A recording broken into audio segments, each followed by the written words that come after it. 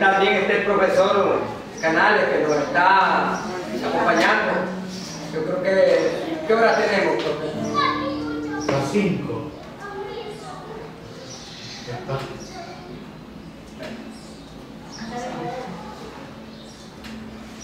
Déjenme que digamos unas palabras. Rodolfo. Sí.